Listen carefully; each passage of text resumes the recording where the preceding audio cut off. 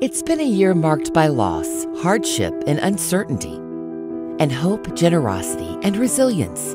Because when millions of people faced a reality they never imagined and reached out for a helping hand, generous people like you were there.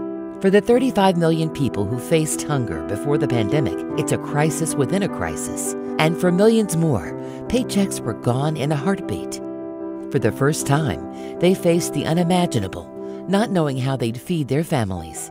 Early in the pandemic, as many as 40% of the people that food banks were serving were coming for the first time. And food banks saw a 60% increase in the number of people seeking help. At the same time, millions of kids began missing school meals. For all these families, for children, for seniors, the Feeding America Network is there the generous outpouring from supporters and partners like you helped the network distribute 6 billion meals in 2020. But for too many, the need for food assistance continues.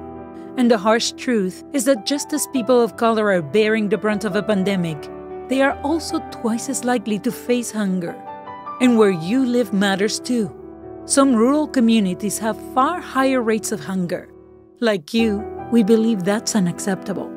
We envision an America where no one is hungry. This won't be easy, but with the strength of the Feeding America network and the commitment of partners like you, we know it's possible. Together, we can create an America where no one is hungry.